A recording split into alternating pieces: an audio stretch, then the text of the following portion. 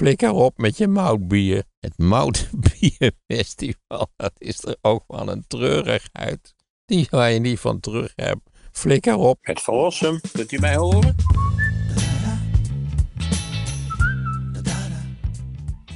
Schijnt er wel altijd erg modderig te zijn, is dat niet zo? Ja, en de wc's stinken. Jee, nee, wat dat mensen toch die festivals. Wat, weet je dat er in Nederland 750 festivals Ja, zijn? vandaag ook dit weekend is ook weer En volop een vorm van, van hele gevaarlijke krankzinnigheid, naar mijn idee. Ja. Dat je daarheen wil en dan dat lawaai en die viezigheid. En Ja. nou ja, wc's, het is toch verschrikkelijk dat je... Oh, er was nog een vraag over binnengekomen. 750 festivals. Ja, even kijken. Dat Wat, betekent twee festivals per dag ongeveer. ja, Nederland Festivalland, hè? Als er iets te vieren is, is dat, we, heet dat zo? Nederland Nou ja, we- staan vooraan als er wat te vieren valt, Ah. natuurlijk. Ah ja, we zijn nog gekker dan ik dacht eigenlijk. Weet je nog toen de Oranje Vrouwen een paar jaar geleden kampioen werden? Toen stond hier in het Wilhelmina Dat- Park toch ook alles op zijn kop? Ja, ja, precies. Daar hebben we allemaal last van gehad. We hebben hier trouwens ook wel last van festivals. Want ze mogen tot, geloof tot half één mogen ze dreunende muziek maken. Ja. Hier, daar gaat een vraag over van Jonathan Koelewijn. Was Maarten betrokken bij het bezwaar dat omwonenden eh, van het Wilhelmina Park indienen tegen het houden van een festival in het Willem, Wilhelmina Park? Uit nou, dat, dat weet ik niet. Nee, ik, volgens mij heb ik daar niet geen handtekening voor gezet. Maar ik was wel bereid geweest om dat te doen. En dat hangt samen met een iets groter en structureel probleem. Niet een specifiek festival. Maar het feit dat de gemeente besloten heeft, de gemeente Utrecht, om het Wilhelminapark tot festivallocatie te benoemen. En waardoor een, het meerdere festivals zou kunnen verwerken in de loop van het jaar. Het Wilhelminapark is niet bijzonder groot. Het is oud, het is kwetsbaar. Het wordt al mm, eigenlijk vrij matig schoongehouden, naar mijn idee, zeker in de zomer. Nee, dat Wilhelminapark is een monument. En eh, je mag daar voor mij best één keer per jaar tentjes zetten op die grote wei daar.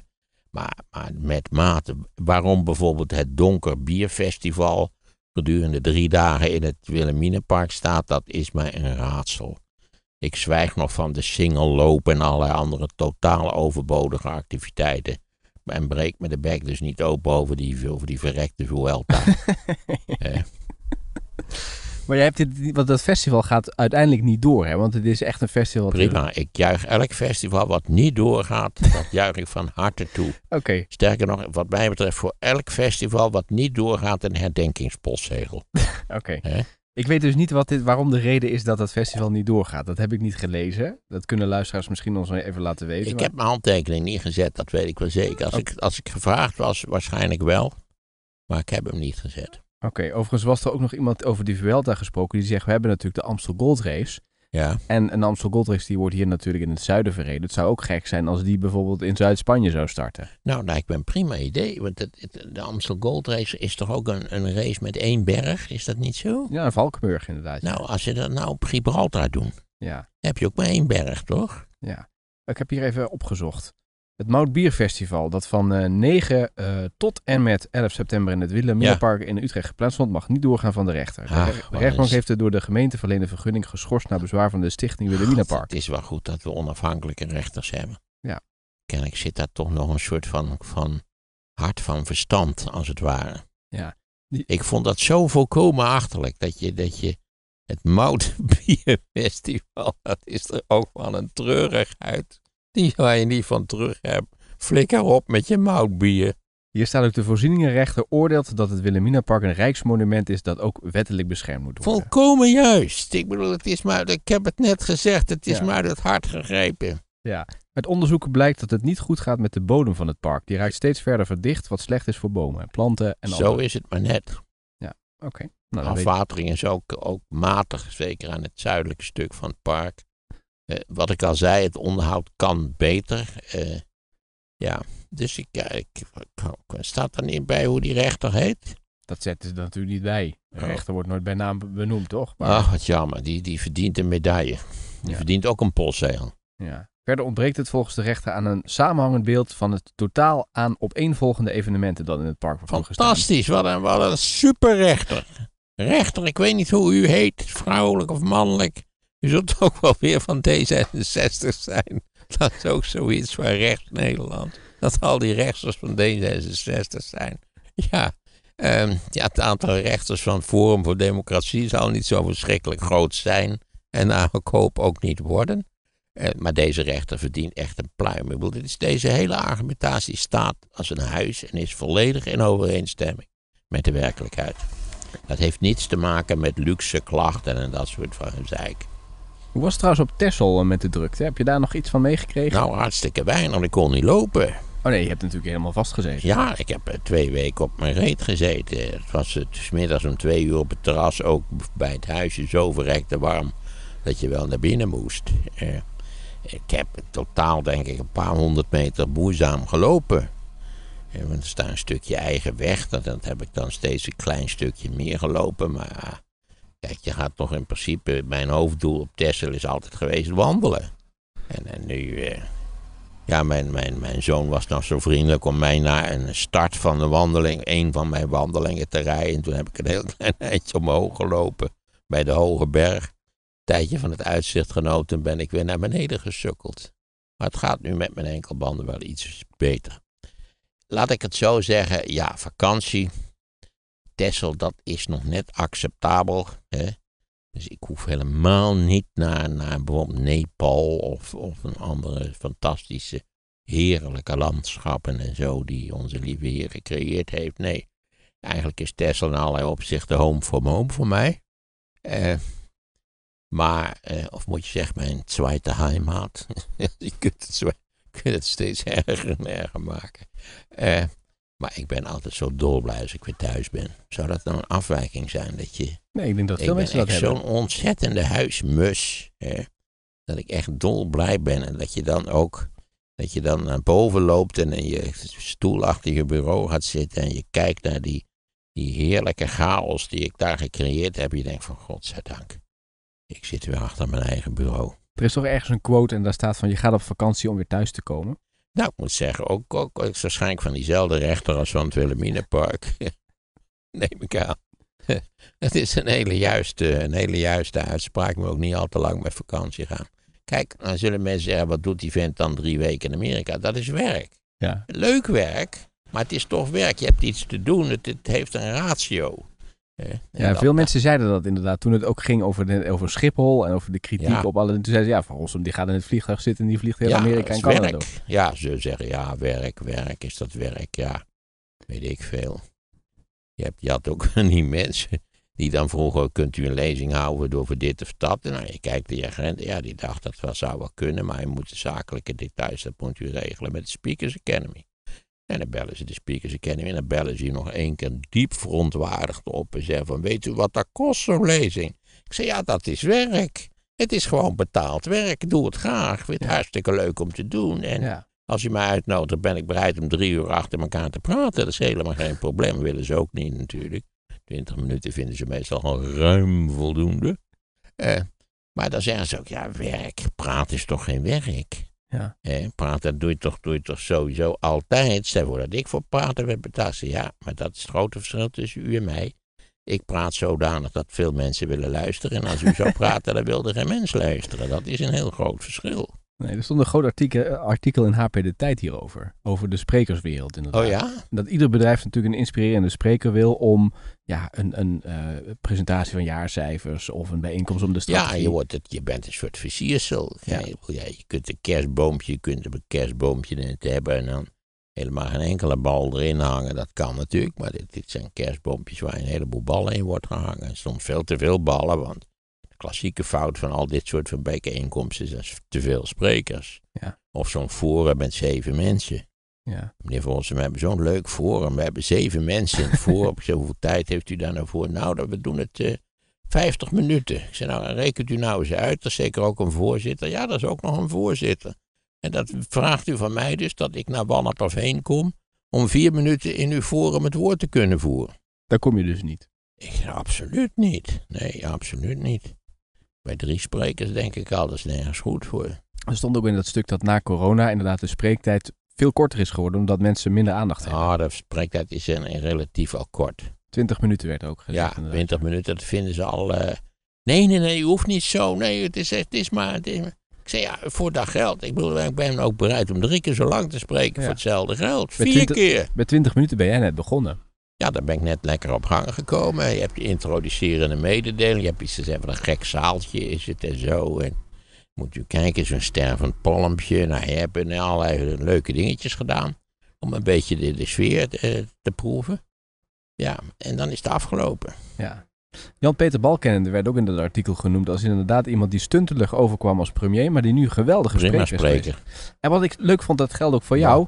De sprekers die dus eh, collegeervaring hebben, die studenten eh, hebben eh, gedoseerd, die zijn goede sprekers. Erik Scherder werd genoemd, die dat Ja. heeft meegemaakt. Balkenende heeft ook aan de Erasmus les Ja, gegeven. zeker. Ja, het is een geweldige leerschool natuurlijk. Ja. Ik heb ook altijd gezegd, dat je studenten rustig kunt krijgen, dan, dan kun je in principe overal spreken. Met eh, uitzondering natuurlijk.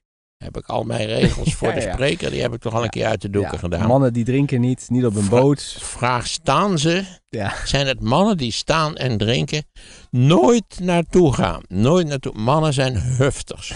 Zeker als ze drie pils hebben gedronken. Echt. Vrouwen zijn heel anders. Hè? Want als je dit overkomt, en er zijn ook vrouwen bij, dan die staan altijd maar. "Sst, luister nou toch eens even, Jaap. En nee, Jaap staat altijd toe te houden zijn zeilbootje en allerlei andere lulkoek, wat die mannen belangrijk vinden. Nee, dat is. Nee, dus ja, ik heb, dus al, eh, ik heb het al een keer gezegd. ja, maar, Maar, mannen, mensen kunnen bij mij een, een, een in triplo vervaardigd document aanvragen van waar je niet moet gaan spreken. ja, mannen zijn wel jouw grootste fanbase, hè? Dat weet ik, ja. Maar niet als ze staan en wat gedronken hebben.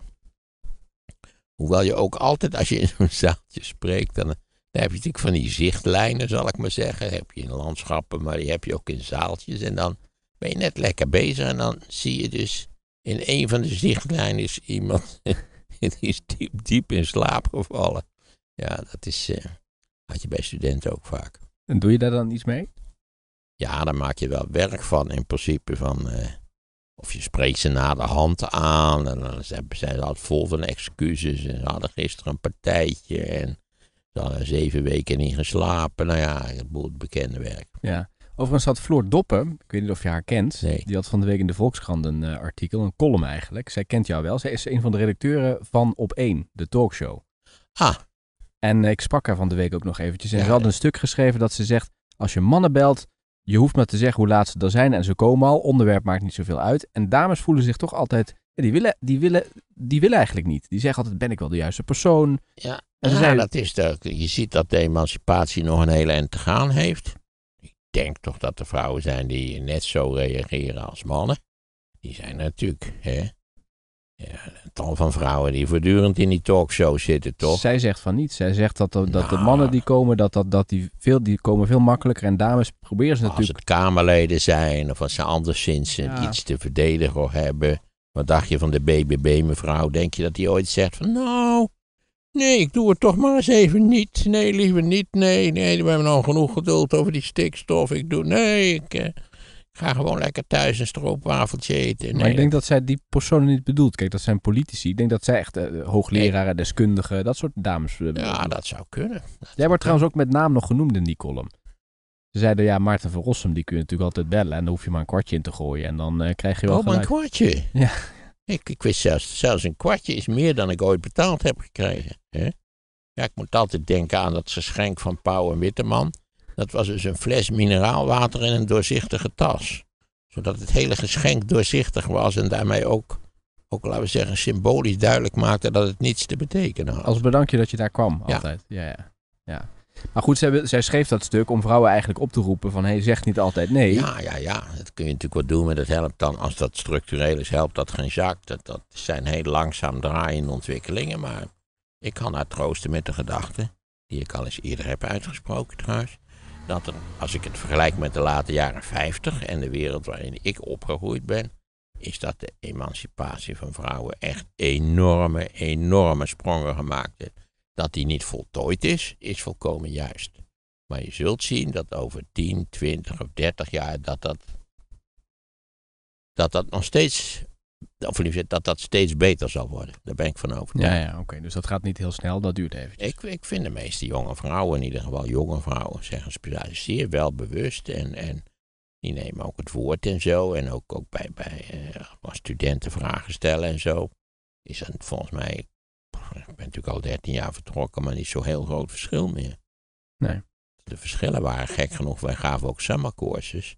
De verschillen waren tussen de verschillende nationaliteiten. De, grootste, de grootste praatjesmakers zijn Amerikaanse studenten.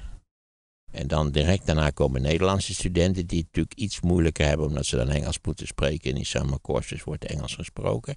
En dan, eh, de Engelse studenten zijn er nooit bij. Ik weet niet waarom niet, maar evenmin als Belgische studenten.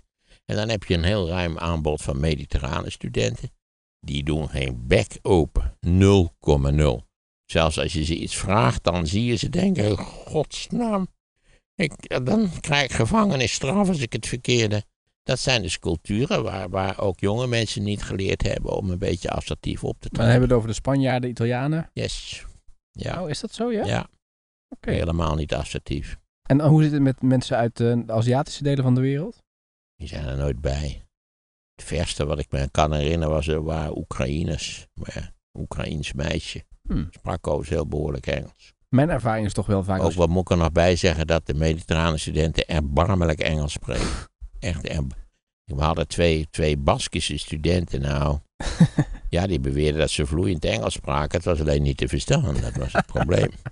Ze hebben ook twee werkstukjes ingeleverd die volkomen onbegrijpelijk waren. Ja.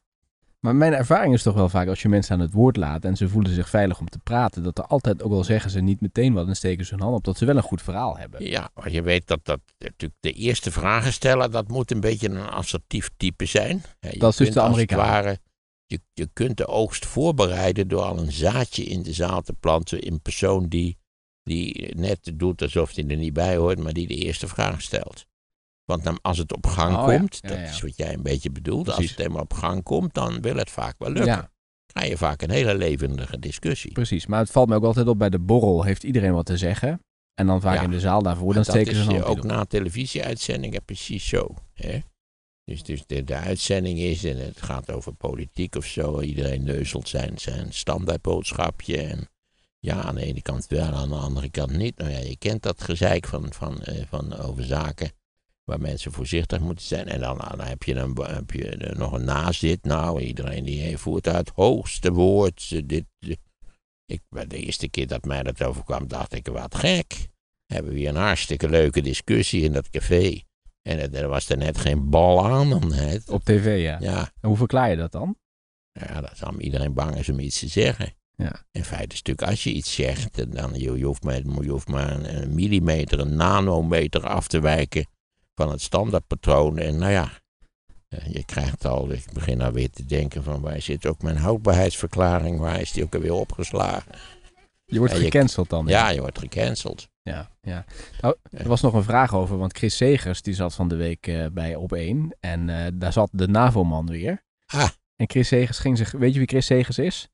Ja, dat is toch die jongen die in Maastricht eh, Europakunde de- doseert, of niet? Nee, dat is, volgens mij is dat Mathieu Segers die jij bedoelt. Ja, Chris Segers is acteur geweest en soapie, dus heeft in een soapserie gezeten en heeft een reisprogramma gemaakt.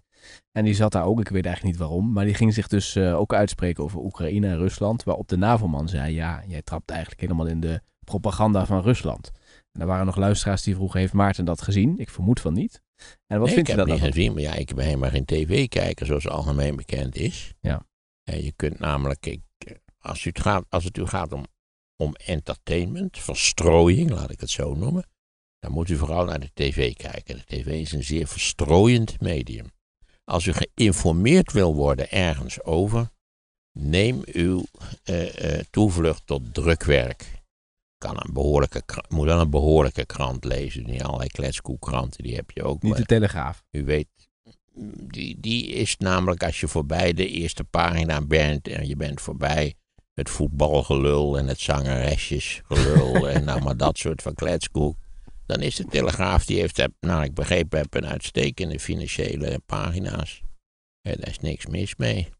We hebben ooit bij de slimste mensen hebben een man van het, die ook altijd in de, hoe heet het, in... eh, Evert Zantegoeds. ja, nee, nee, nee, niet Zantegoed. Nee, hoe heet die man nou? Die deed het voortreffelijk bij de, bij de slimste mensen. De oud-hoofdredacteur, Jules Paradijs. Nee, ook niet. Dat is Oh. ook een klets mee hoor. Ik vind Maar dat wel deze grappig. was het helemaal niet. En Oh. die, eh, Doet het, ook het economisch, sociaal-economische nieuws voor de Telegraaf. Oké, Door en door serieus type. ja. Met hele verstandige opvattingen. Dus je moet bij de Telegraaf even voorbij het tabloid, eh, of tabloid, weet ik hoe je het wil noemen, gedeelte bladeren. En dan, eh, ik heb ooit een, voor de Maarten, voor dat tijdschrift van mij, een vergelijkend onderzoekje gedaan. Telegraaf, NRC en Volkskrant, geloof ik. Nou, Volkskrant en NRC, die lijken zo verschrikkelijk veel op elkaar. Dat de kinderen kochten op Texel steeds een krantje voor mij. En dan draaide ik hem om. En dan dacht ik, waarom staat Fok en Sukke hier niet op? Maar dat kwam omdat het de Volkskrant was. Die, ik moet zeggen, hele ordinaire advertenties had op de achterpagina. Daar moeten jullie mee stoppen. Ik begrijp dat dat geld oplevert, maar gebruik de achterpagina. Ik heb zelf de NRC, ik lees altijd eerst de achterpagina. Altijd. Achterpagina is van essentieel. Iedereen weet wat er op de voorpagina komt.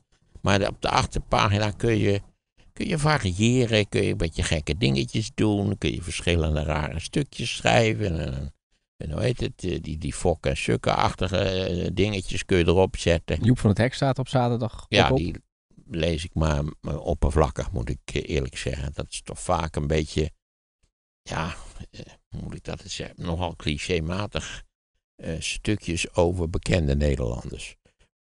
Die inderdaad enorm gek doen en die verdienen op de hak genomen te worden, is allemaal waar. Maar ik, ik vind het niet, kan naar mijn idee, scherper, minder, minder bedoeld komisch. Hij wordt toch eh, Het is erg al goed- erg genoeg. Ja, Frits Spits die zegt altijd het eerste wat ik lees is Joep op zaterdag. Ja, ik niet dus.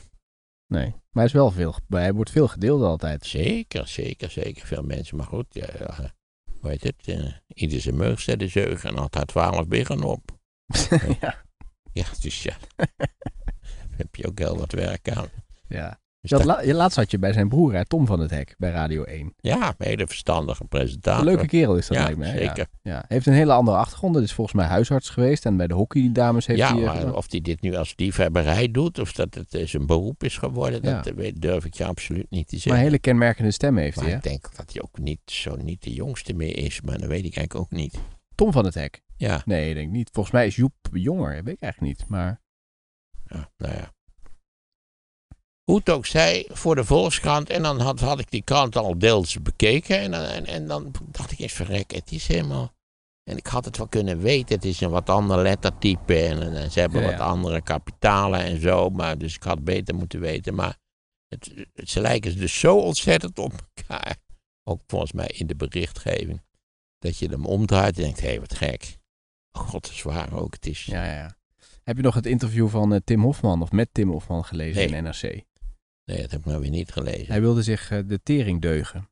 Oh. werd, hij werd hem gevraagd, eh, is het, eh, jij wil altijd deugen, dus dat wil zeggen, je wil je eigenlijk houden aan alles wat Ja, nou ja, vind ik heel verstandig dat je altijd wil deugen. Het Ja. is moeilijk om altijd te deugen. Toen zei hij, wat is daar mis mee? Ik wil dat gewoon graag. Wat is daar mis mee om dat niet te nee, doen? er is niks mis mee. Hij zei, ik heb het N-woord ook wel eens in het verleden verkeerd gebruikt. Daar schaam ik me nu ook voor. Daar, dat doe ik nu ook niet meer. Ja, dat is een feit. Ik zag dat scènetje ooit op de televisie. Dat, is, dat, was, geen, dat was niet best. Uh, misser eerste klas. Hij wordt nu natuurlijk, ligt hij onder een vergrootglas, omdat hij John de Mol probeert aan te Ja. pakken. Hè, met die, met Ja. die boze afleveringen. Ja. Nou ja, hij heeft daar wel mee bewerkstelligd dat het programma opgehouden is. Ja, al begreep ik Want wel dat wel rare dingen gebeurden toch. bij The Voice. Ja, ik moet zeggen, het kan zijn natuurlijk dat ik mijn, altijd mijn ogen dicht hou en, en sowieso zelf ook te veel deugd. Dat weet ik niet precies, maar ik kan je verzekeren dat het bij de slimste mensen heel fatsoenlijk toegaat. Ze willen nu bij RTL willen het weer met The Voice Senior gaan eh, proberen. Om, te, een beetje, om, om het sentiment een beetje in Nederland De te peilen. Voice Senior, Ze ja. missen natuurlijk weer heel veel Ja, inkomsten. ik heb nog geen uitnodiging gekregen. Terwijl als er nou één senior is die verdient dat hij daar ook eens een lied mag zingen, Dan ben dan ik het wel. Ja, ze denken misschien dat jij te druk bent met eh, de slimste. Want dat komt weer in naseizoen, toch? Of voor de, Ja, zeker. 2 november starten we weer. ja, ja. Overigens, Evert Santegoeds, die noemden we net. Die wil niet eh, in de slimste, want dat kan die niet, want is die altijd op vakantie. Die was nu met als vragensteller zat hij in eh, ja, heel verstandig. Dat hij niet als eh, kandidaat mee gaat doen. Ja, het lijkt me heel verstandig. Waarom? Ik denk dat hij voldoende zelfkennis heeft om te beseffen dat hij daar niet goed gaat scoren. Oké, dat zei hij zei van wel. Hij zei dat hij wel. Hij zegt als je de krant leest, dan kom je best wel een eind. Kan zijn. Ik lees de krant, maar ik zou zelf geen zeven rondes halen, denk ik. Nee. Waar, waar, waar stond Koefnoen nu voor? Koefnoen? Dat werd een keer gevraagd aan, volgens mij, Hanneke Groenteman. Van wa- wat betekent Koefnoen? En dat wist zij niet. En toen zei Evert Zandgoes dat je dat niet weet. Iedereen weet toch wat Nou, ik Koefnoen weet het ook niet. Dus ik vond Ik het een heel aardig programma, maar ik weet niet wat het betekent. Nee, ik heb ook geen idee. Nou, dat moeten we even dat is toch opzoeken. een programma van Owen Schumacher en Ja, zo. Ja, dit is volgens mij nu niet meer op Heel tv. geestig. Met, die, met een beetje het verlengde van kopspijkers. Met Ja. het cabaret. Ja. Ja. Hoe meer satire, hoe beter zou ik zeggen. Ja. ja.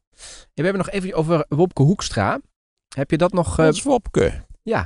want jij bent natuurlijk altijd best wel kritisch hè, op, op eh, Hoekstra. Ja, ik moet zeggen, dat is niet veranderd in de afgelopen weken en Nee. dagen. Nee, ik Ja. heb hier eventjes een... een Wat een, wat een ongelooflijk lullig gedoe. Wat kinderachtig. Wat een goedkoop opportunisme. Het is echt treurig. Wat, wat een raar kamerdebat was dat nou toch ook weer. Dat hij zei, ja nee, het mag, het, het moet niet, eh, hoe heet het, het mag geen dogma worden. Waarbij de, de, natuurlijk, eh, hoe heet het, eh, de NRC naar mijn idee heel terecht schrijft. Als je natuurlijk afspraken die je in het regeerakkoord hebt gemaakt. Als je die vervolgens dogma noemt en je, en je zegt dat je niet altijd dogmatisch moet wezen. Dan betekent dat met zoveel woorden dat je met het CDA geen afspraak kunt maken. En dat is natuurlijk ook zo, omdat die partij, je begrijpt ook wel hoe dit komt. Ik bedoel, die partij is in doodsnood. Die ziet natuurlijk aankomen dat ze verpletterend gaan verliezen van die BBB-beweging. Dat zal ook een eendagsvlieg bleken, blijken te zijn, zoals al dit soort van partijen dat zijn. Maar goed, dat kan natuurlijk toch de, de nou ja, ik denk de laatste, de, finale doodsteek zijn voor het CDA. Wat ze aan zichzelf te danken hebben. Want ook die hele retoriek natuurlijk van dat het he- contact met de samenleving is, de, de elite en het kabinet in Den Haag heeft het contact met de samenleving verloren en allerlei andere kletspraat die bij dat debat eh, werd, eh, met ten berde werd eh, gebracht door het CDA. is natuurlijk een beetje gek als je weet dat het CDA sinds 45 slechts 13 jaar niet mee geregeerd heeft. Als er nou iemand verantwoordelijk is voor de, voor laten we zeggen, de politieke, de structurele politieke problemen van Nederland, dan is dat toch wel het CDA. En de laatste, het laatste anderhalve decennium eh, de VVD natuurlijk ook. ja. En daarvoor vanzelfsprekend de Partij van de Arbeid ook. Dat zijn de drie grote partij- politieke partijen die het naoorlogse Nederland gevormd hebben. Hm. En daarmee ook de verantwoordelijkheid dragen voor datgene wat er fout gelopen is. Ja. En dan ook de verantwoordelijkheid hebben voor datgene wat er goed gelopen is. Arendo Joustra heeft een column geschreven en die refereert aan dat van Hoekstra. Hij zegt eh, de suggestie van Hoekstra om vijf jaar langer de tijd te nemen om het stikstofprobleem op te lossen, zonder de doelen los te laten, is uiterst verstandig, zegt hij. Ook omdat de provincies het werk moeten doen. En ook daarop aandringen om het uit te stellen. Ja, er is helemaal geen reden om, uit te stellen. We hebben, het al, we hebben het al 40 jaar uitgesteld. Je kunt gewoon beginnen zonder dat je op zichzelf precies weet wanneer het doel bereikt is. Dat, dat kan heel goed. Maar je begrijpt toch wel dat dit allemaal de bedoeling heeft om de zaken weer voor ons uit te schuiven. En het was, naar mijn idee was die brief van die wetenschappers, die was heel terecht. Hij zei, hou op met dat zeuren, want het is in feite niks anders dan zeggen, nou jongens, kalm aan en breek dat lijntje niet en het, het loopt zo'n vaart niet en maar dat soort van dingen. Nee, je kunt volop beginnen. En dan zie je wel, dus, zal het zal 2030 daadwerkelijk gerealiseerd zijn wat afgesproken is? Waarschijnlijk niet. Maar als je daar nu al van uitgaat, hè, het is een beetje als je, als je inpakt voor de, voor de vakantie. Hè. Je zegt van tevoren, om één uur gaan we rijden. Hè. kan best zijn dat het half twee wordt. Hè. Maar als je natuurlijk al, al, laten we zeggen, na een uurtje later zegt jongens, één uur, nou niet al te serieus nemen. Misschien wordt het half twee, twee uur, je weet het niet. Ja, dat kan zijn. En misschien wel drie uur. Dan nemen we de volgende boot, dat werkt. Nee, dat is gewoon kletskoek. Het is gewoon opportunistisch gelul in verband met de electorale vrees die ze koesteren voor het volgende jaar. Ja. En ik vond ook de hele redenering toch van een goedkoop opportunisme. En dan het CDA met zijn gezeik over het contact met de bevolking. Kom op. Als er iemand dat had en beweerde het te hebben, waren jullie het. En kijk eens aan waar het jullie gebracht heeft. Maar jij zei net, de, ze flikkeren alles over de schutting naar de provincies. Dan is het toch niet gek dat je iets meer tijd misschien ook daarvoor neemt. Want die provincies hebben al zoveel op hun bordje. Nou, dat valt erg mee bij de provincies. Hè. ik kan me herinneren dat diverse commissarissen van de koningin in het openbaar verklaard hebben dat het een functie was die bar weinig voorstelde. Ja, maar de commissaris is daar ook natuurlijk niet mee bezig. Dat moeten de gedeputeerden moeten dat natuurlijk doen. Ja, dat is goed, maar de, de commissaris moet daar leiding aan geven. Hè? Niet 17 nee, bijbanen hebben, zoals vaak het geval schijnt te zijn. Maar is dat niet tegenstrijdig dat je dus zegt van ja, de... de, de... Ik vind het heel onverstandig dat het aan de, aan de, over de schutting gegooid is. Ik heb het al uitgelegd hoe Rutte dat doet. Hij zet zijn pet op, een fluitje en hup, over de schutting. Alle complex beleid kan over de schutting. Hè? Nou, de boel in Den Haag zo klein mogelijk houden. Ja. Ik vind sowieso al dat hij, dat hij, hij verdient ook minder ruimte in dat torentje. Hè? Dat is Ja, al niet heel heel groot. torentje alleen voor Rutte vind ik ook flauwekul. Sarkozy was er toch een keer langs geweest. En die, die, ja, die vond dat natuurlijk vergeleken met Parijs. En wat ze daar allemaal hebben, vond hij dat helemaal niks volgens mij. Ja, vooral hij die heeft een heel paleis. Ja, ja. Ja, dat zijn die Fransen, die moeten een paleis. Kijk, je weet, zodra het over paleizen gaat, ben ik, ben ik achterdochtig. Hè? Je weet wie de grote paleizenbouwers zijn. Ceausescu in, in, in Boekarest natuurlijk. Poetin, heb je dat ding gezien? Ja. Het is een van de grootste hits van Navalny. Was, eh, was dat verachtelijke paleis. Ten slotte moest hij een vriend optrommelen. Die moest zeggen dat het eigenlijk zijn paleis was. Eh, wat dacht je van, van Erdogan, idem dito, ook zo'n paleizen bouwen? Saddam Hussein. Ja. Ik vind ook dat ook die Huis ten Bos is toch veel te ruim behuisd voor ons, voor ons koninklijk huis. Zet ze in een nette villa in Wassenaar, dat vond ik prima geregeld. Dan kunnen wij ook in Huis ten Bos gaan kijken. Nog En één, al die paleizenboel, dat vind ik een beetje, sorry hoor, we zijn burgerlijke samenlevingen. En we moeten van de paleizen af, dat kunnen gewoon musea worden. ja. Kijk, het Louvre was ook een paleis, je ziet hoe nuttig het gebruikt kan worden later. Nog één uitspraak uit die column van Joustra. Hij zegt dat eh, eh, Rutte eh, beschuldigde Hoekstra van eh, dat hij uitlatingen had gedaan die staatsrechtelijk op het randje waren. Maar de CDA-leider kon het makkelijk negeren, want staatsrecht wijkt bij Rutte altijd voor politiek overleven. Het voortbestaan van zijn vierde kabinet is belangrijker dan staatsrechtelijke eh scherpslijperij. Ik neem aan dat dat juist is. Ik zou nog niet 1, 2, 3 allerlei voorbeelden weten. Maar ja, dat, dat Rutte zelf natuurlijk een rommelaar is, een regelaar, een, een ritselaar. Dat is natuurlijk zo klaar als een klontje. Wat, wat zij ook weer, zo'n citaat van Shaila Sital Singh, die een stukje over hem of een boek over hem geschreven heeft. In de Volkskrant bedoel je? Ja, nou ja, hij is een, een procesbewaker of een procesbegeleider. Of nou ja, zoiets in die reeks in ieder geval. Dat lijkt me een hele, hele juiste. Het, het vervelende bij Rutte is dat we altijd denken dat hij eigenlijk geen ideeën heeft enzovoort. Maar dat hij natuurlijk wel degelijk eh, akkoord was met de ideeën die, die, die, die de afgelopen kwart eeuw een belangrijke rol hebben gespeeld. Dat de overheid kleiner moest, dat de overheid goedkoper moest, dat de overheid moest worden gestroomlijnd dat het allemaal wel wat minder kon. En nou ja, we zitten ondertussen met de resultaten van dat beleid.